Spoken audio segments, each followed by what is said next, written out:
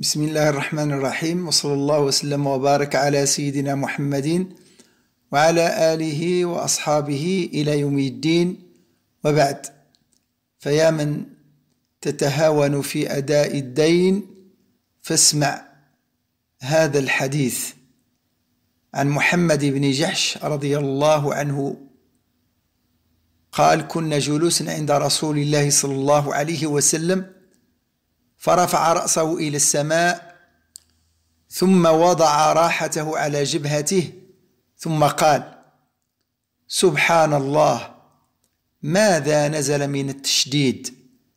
فسكتنا وفزعنا فلما كان من الغد سألته يا رسول الله ما هذا التشديد الذي نزل؟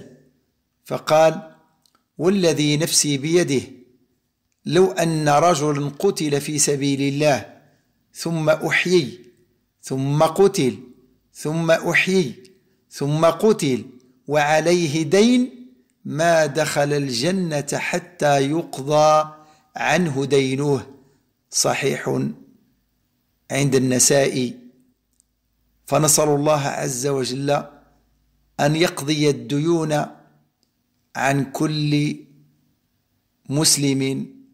وعن كل شخص سمع هذا المقطع أو نشره.